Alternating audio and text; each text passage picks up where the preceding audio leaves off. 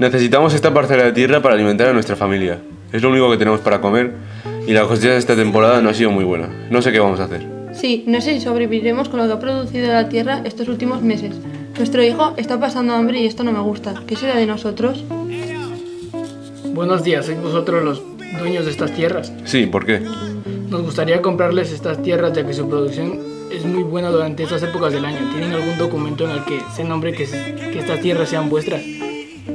Eh, no, no tenemos nada de lo que usted dice. Estas tierras han sido de mi tribu durante muchas generaciones y tampoco tenemos intención de venderlas a nadie. Nos quedaríamos sin nada. Tiene razón, nos moriríamos de hambre y tenemos un hijo que alimentar. Como bien os ha dicho mi compañero, ya que no tenéis ningún documento legal en el que diga que sois propietarios de estas tierras, nos vemos obligados a expulsarles de aquí. Mañana a primera hora vendremos con nuestras máquinas y empezamos el proyecto.